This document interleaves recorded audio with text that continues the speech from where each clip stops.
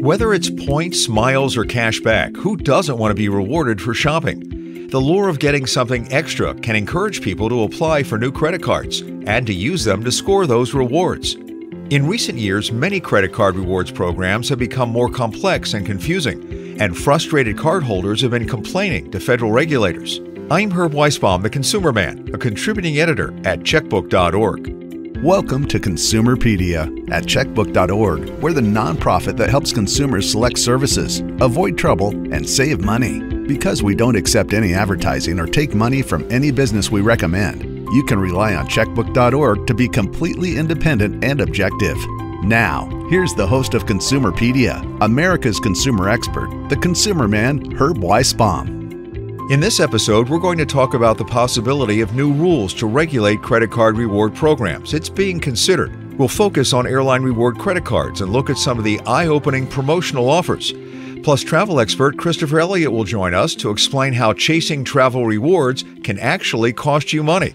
In May, the Consumer Financial Protection Bureau, the CFPB, issued a report on rewards cards, outlining the numerous problems cardholders are encountering. The agency hosted a public hearing along with the Department of Transportation. Here's a little bit of what Director Rohit Chopra said at that hearing. Credit card companies have focused heavily on ways to entice customers using features other than the real cost of credit, the interest rate and fees they charge. Credit card rewards take center stage in the industry's marketing blitzes, particularly in the form of frequent flyer miles and other proprietary points programs. The largest and most dominant airlines play a massive role in this market. Most of us have witnessed the advertising online, in our mailboxes, on television, and even while seated on an airplane about airline branded credit cards that make promises about frequent flyer mile sign up bonuses, free round trips for you and your family, and other travel perks. Frequent flyer programs have evolved from many years ago from a perk for the airline's most loyal customers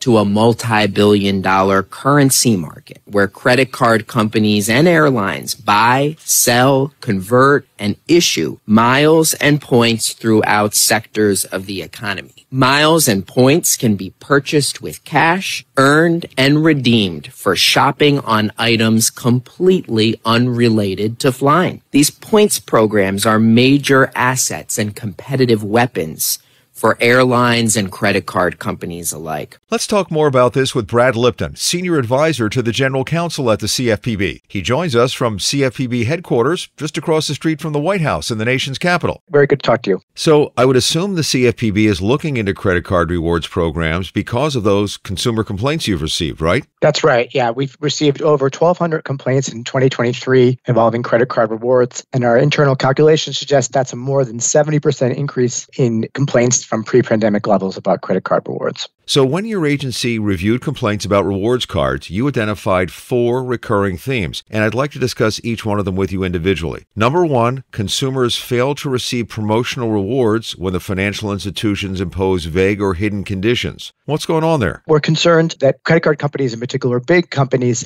make promises to consumers, uh, you know, in big print and advertising about sign-on bonuses or other ways that consumers can earn credit card rewards points.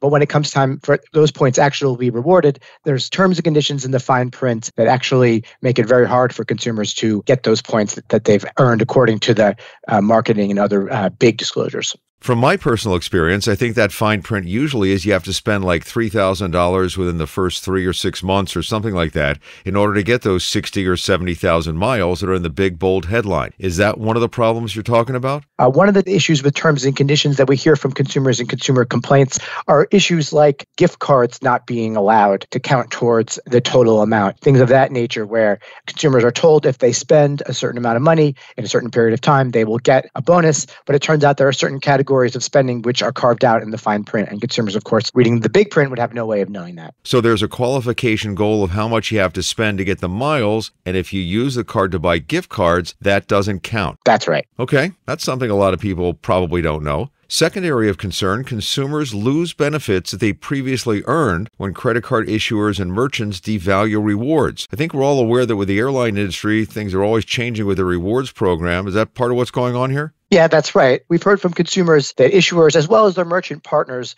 reduce the value of awards that consumers have already earned. You know, consumers are responsible for paying their credit card bills and they live up to their end of the bargain. And we're very concerned that consumers complain that companies don't live up to theirs. They devalue points, change the value of them with no notice to consumers, or they remove benefits that consumers have come to expect based on representations from the companies. So that's a big concern. So, continuing with the most common complaints, number three, consumers face obstacles in receiving their preferred redemptions when companies fail to quickly resolve rewards related issues. So there's not a lot of good customer service going on here when there are problems. Yeah, that's right. One thing I would emphasize here is that we've really seen credit card rewards taking center stage in industry's marketing campaigns lately. That's really been a big change. And another big change that we've seen in this market is the rise of these points cards. About 50% of credit card rewards at this point are on proprietary currencies, things like individual credit card companies' points. And that is, seems to have raised a, a slew of new issues that consumers have raised for us. And in particular, issues where consumers are promised these points and they're promised that they will be able to transfer them to merchants and use them at those merchants. And then when problems arise, they get caught in what we like to call a doom loop between the credit card company and the merchant. So there's a problem with the transfer portal, the online portal. The credit card company says, call up the merchant, they'll fix it. And then the consumer does what they're told. They call up the merchant, and lo and behold, they're sent back to the credit card company and said, call the credit card company. They're the one who has to fix it. And it really puts consumers in an impossible position. And again, just to emphasize, these are consumers who have earned these points. They've been promised these points, and it's really not acceptable to us if they're not able to spend them. And number four is probably the most concerning to me. Consumers suddenly lose rewards when issuers unilaterally revoke previously earned balances. They just pull the plug on your account. Yeah, that's right. Under the terms and conditions of many credit cards, credit card companies are allowed to unilaterally terminate consumer credit card accounts. But the issue we're seeing there as to rewards is that then they take the position that those rewards points go away as well. And so consumers in many cases have saved up thousands or even million rewards points. And then for things completely out of their control and things that are also oftentimes poorly explained to them by credit card companies, the credit card company closes their account and they take the position those rewards just disappear. So, when your agency issued this report on rewards credit cards back in May, the report said that the CFPB will continue to monitor credit cards rewards programs and take necessary action on these issues as appropriate. So I assume you're going to look at the marketplace and decide if there's any need for any new regulations to deal with all these problems people are reporting to you. We're really looking at taking these complaints very, very seriously and following up from our joint hearing with the Department of Transportation. We are continuing to review consumer complaints and look into these issues. We've taken enforcement action with respect to credit card rewards. We did a major enforcement action against a large bank in June of 2023. And this is an issue we're very concerned about and are continuing to look at using all of our tools, whether it's enforcement, guidance, regulations. This is an issue that is concerning to us, and we're going to continue to take a hard look at it. And just to be clear, the CFPB is not opposed to rewards credit cards. You're just going to make sure that consumers are not tricked into applying for them and that they get what they're promised. Did I get that right? That's absolutely right. We have really seen credit card rewards taking center stage in industry's marketing campaigns. And consumers are living up to their end of the bargain. They're earning these credit card rewards points. We have a lot of evidence they're choosing their credit cards based on the rewards available. And our concern is that consumers should get treated fairly with respect to those points and the credit card companies and merchants who partner with them should live up to their end of the bargain as well. You know this is also for us a competition issue. One issue that we have seen is that big companies big credit card companies big banks have increasingly made themselves exclusive relationships with merchants, uh, entered into exclusive contracts with merchants about uh, how credit card points and rewards are going to be used. That really puts the smaller players in a difficult position. What we hear from them is that they would like to compete on credit card rewards points, but they just don't have the resources of these big companies that lock in these exclusive deals. So there's really uh, a competition angle, but uh, and very much, as you said, a consumer harm angle. We really think that consumers are uh, who earn what these credit card rewards points should get what they've earned. So if someone listening to this podcast had a problem or believes they weren't treated fairly, they want to complain about a rewards credit card, do you, does the CFPB want to hear from them? Would you like them to file a complaint? Absolutely. Uh, please send your listeners, everyone who's listening right now, consumerfinance.gov. If you've had a problem with the consumer financial product or service, including credit cards, including credit card rewards, log on to consumerfinance.gov and file a complaint. We really read those complaints. They drive all of our work, enforcement, guidance, policy.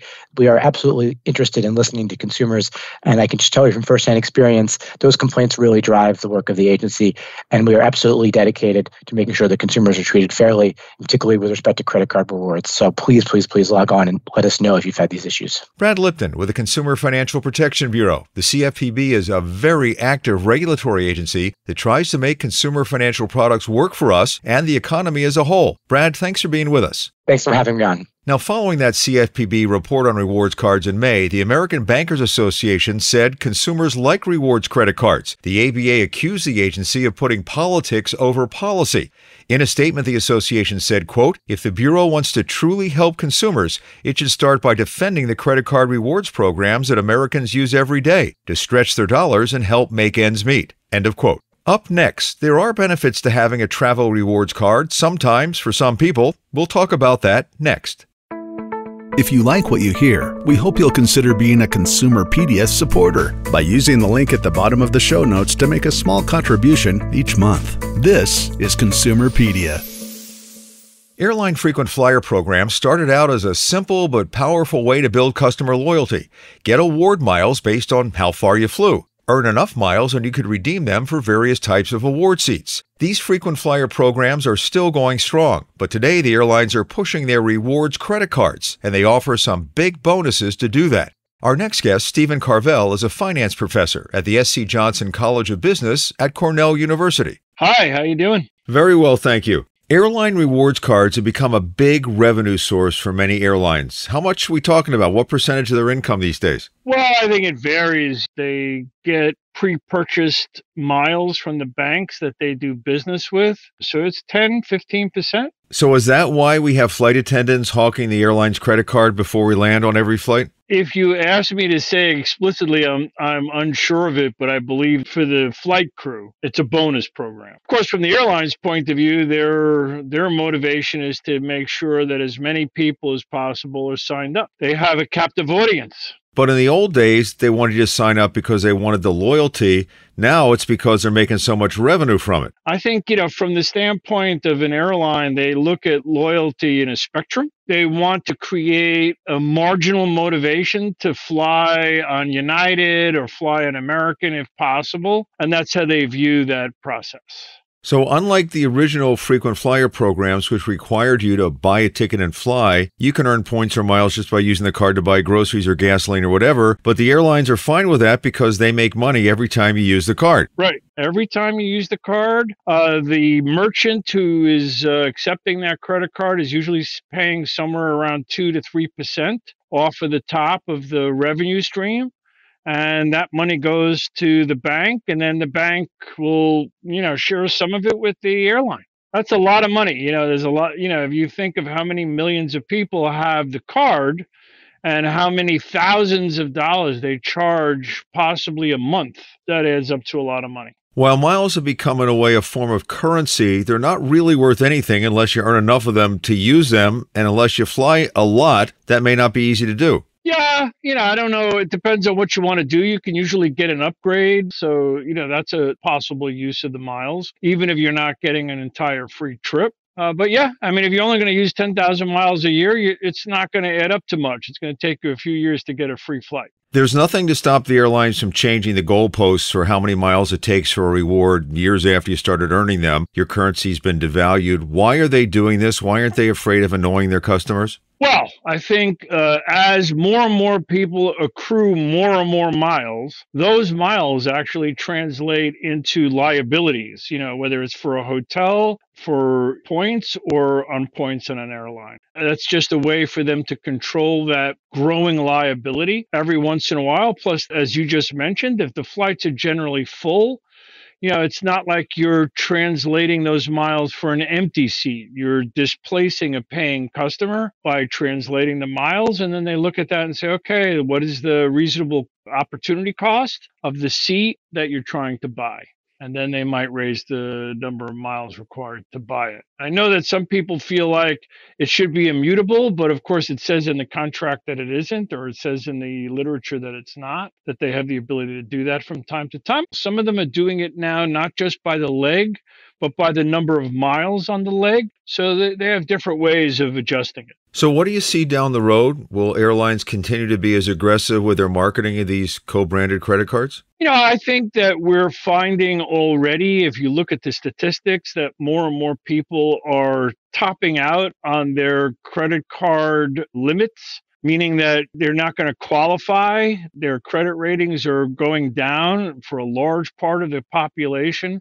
And then the rest of people have already chosen the people who have really high FICO scores, etc. They already have one or two cards that they're using as their preference cards. So I think the, the number of ads is going to start dropping and Therefore, they're not going to be paying as much attention to adding more and more people because the yield on that ask is going to keep on dropping. And I think we're probably already seeing that. So, what are they going to do? They're going to keep on getting me to figure out ways to use my card more often. Any other thoughts you have about these uh, reward airline reward credit cards? I think people should look at it and say that having the card as an intermittent traveler, you'll have a higher probability of not having to stress out about them not having room for your luggage. I have an American Airlines card. I think it costs me $79 a year to have the card. And part of the uh, benefits of having that card gets me immediately, regardless of my status, zone four boarding. You know, so at some level, at least maybe also that $79, if I'm a reasonable traveler, it means that there'll be likely room at, on the overhead for my baggage, you know, when I get on the plane, as opposed to people who are boarding zone five or six or seven. And, you know, uh, if I get a free flight every once in a while, every year or so, or every two years, that's a bonus on top of that. So I would almost look at it as this is a way for me to uh, have a lower stress travel, less likely to be bumped automatically off the flight, things like that. And you may also get free luggage uh, or possibly some other perks. Yeah, yeah, one or two bags, free check. Those are the perks. It's costs you seventy nine dollars a year or ninety nine dollars a year, depending on which kind of card you're using. Yeah, those benefits might just be worth it on their own. Steven Carvell is a finance professor at the SC Johnson College of Business at Cornell University. Thank you for spending time with us today. Happy to do it. Have a great day. Up next, travel expert Christopher Elliott joins us from somewhere in Europe to talk about why he is not a fan of travel rewards cards. I'm Herb Weisbaum, the consumer man, and this is Consumerpedia, powered by checkbook.org. Consumerpedia Fast Facts. When comparing rewards cards, figure out what they're really giving you. With a 3% cashback card, you get $3 back for every $100 you spend. The value of the points or miles you earn for that same purchase might not be worth $3. Here are some of the ways you may be able to redeem your credit card rewards as a statement credit, deposit to a bank account, buy gift cards or merchandise, pay for hotel rooms or airline tickets, and donate to charity. When deciding how to use your points, CNBC suggests trying to get a one to one value, meaning one point or mile is worth a penny. To calculate if you're getting a one to one value, take the cost of the redemption item, such as a gift card or travel reservation, and divide it by how many points or miles are needed. We couldn't discuss travel rewards without talking to a good friend of this podcast, syndicated travel columnist Christopher Elliott. His on travel column appears in USA Today and newspapers across the country. Chris not only writes about travel, he's been traveling around the world full time since 2017. Hello, Herb. How are you? So, where in the world are you this time? Uh, this time I'm in Berlin, Germany, the capital. So, when we spoke to you in April for the travel show, you were in beautiful Curacao off the coast of Venezuela. Before that, New Zealand. How many miles do you think you rack up in a year? Oh, gosh, that's a good question. In the last year, I've been around the world at least once. So, uh, whatever that is, um, uh, probably much more than that. And uh, yeah, that's a lot of miles or kilometers. And being a traveling man, as Ricky Nelson would say, if you're old enough to get that musical reference, way to go. You must be totally focused on how many airline miles and hotel points you can accumulate.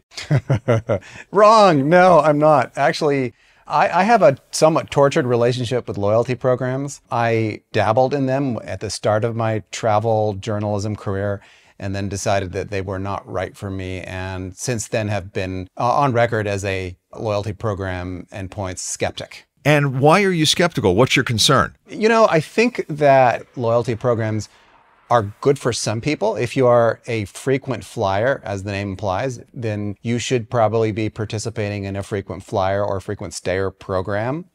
But for the rest of us, they really are marketing programs that are meant to get you to spend more money and to spend money mindlessly on that particular product, whether it's an airline ticket or a hotel room. And I think that on balance, that's bad for customers. So you're saying rewards cloud your judgment when it comes to finding the best price for flights and hotel rooms. Exactly. It short circuits your common sense. So you say, hey, i am participating in uh, Hilton or Delta or American Airlines. So you start making decisions based on how many points you can get. And where it really starts to get crazy is when you have these credit cards where you get one point per every dollar spent. And that's when you start spending a lot more money that you probably wouldn't normally be spending. That's where it gets into crazy territory where, you know, people are spending a lot to get the points, to get the miles, and then maybe ending up with uh, a huge balance on their credit card that they can't pay off. Or you get that promotional offer, 70,000 miles, and you sign up for the card, and then you realize you only get them if you spend $3,000 in the first six months. You find yourself with the clock ticking down, so you go out and buy stuff you wouldn't ordinarily buy because you want those miles. Oh, Herb, we could spend hours talking about loyalty programs, but I'm not going to bore you. But certainly, yes, that's one of the gotchas there is that you get these offers and you think, oh, look, I'm going to fly somewhere for free. But there's always a catch. And it's like Las Vegas the house always wins. These programs are created to benefit the airlines and the shareholders. They're not there necessarily to benefit you. So, how do you feel about airlines changing the rules when it comes to how miles are accumulated or how many are needed for an upgrade? I don't feel very good about it to put it mildly. If you want uh, some light reading, you should read the, the program agreement for your uh, loyalty program. It tells you that the company can change its rules at any time and for any reason. It'll also tell you that the points don't belong to you. They belong to the company and that they can confiscate them or close your account for any reason. They don't even need to tell you why. Hmm.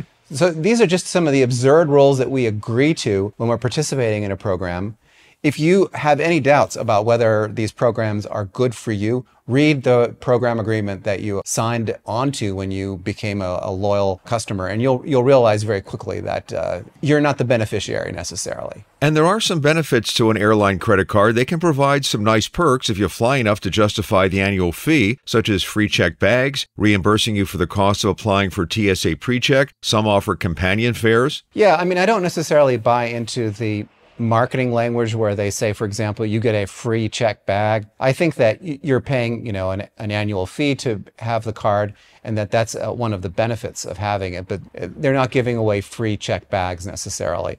Um, but yes, you can get some benefits from it. If you're going to fly, you know, Alaska Airlines is a good example. Alaska is one of the better airlines and their loyalty program is one of the least offensive in my mind. If you're going to, you know, fly a lot on Alaska Airlines, yeah, good idea to participate in its loyalty program. Read the fine print carefully on the credit card because, you know, the cards, that's a totally different animal. Uh, you know, you've got the APR you've got to worry about and the annual fee, and it may be a good deal for you and it may not. I mean, you, you may get a better deal with your credit union or bank. So don't automatically assume that just because you can collect miles that it's going to be a good deal for you. We want to remind listeners that you shouldn't even consider a rewards card unless you pay your bill off in full each month. Otherwise, you're going to lose money because of the interest. Yeah, if you can't pay it off, do not spend it because that's when the uh, credit card companies and the airlines or hotels really start to do very well uh, when you've got a, a balance that hasn't been paid off and the interest starts to accrue. That's just madness. For those who do pay the balance in full each month, Checkbook recommends a rewards card with no annual fee that pays cash back. We feel that money is always better than points you may not be able to use. Would you agree? The problem with points is that the goalposts keep getting moved. So if you can get a flight for 25,000, 30,000 points today,